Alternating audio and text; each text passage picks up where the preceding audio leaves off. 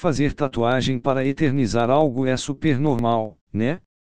Uns fazem fotos de filhos, nome de namorado, nome da mãe.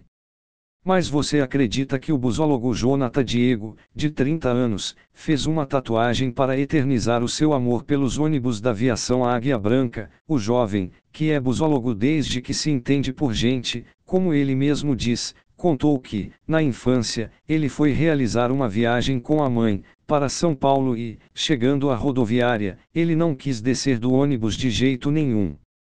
Os motoristas tiveram que conversar comigo para eu sair de lá, Chamaram até as autoridades, porque já estavam achando estranho, conta o jovem, no estado, ele realiza encontros com outros busólogos, para visitar a garagem da rodoviária de Vitória e apreciar cada ônibus que entra no local.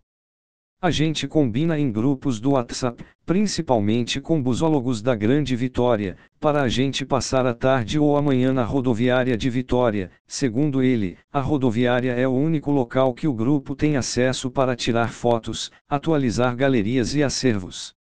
A gente discute sobre linhas novas, prefixos novos e frutas novas. Se dependesse da gente, a gente passaria todos os dias, ou sempre nos finais de semana, dentro das garagens, finaliza. Jonathan Diego também fez a tatuagem de um ônibus da Preti com a carroceria da Marco Polo.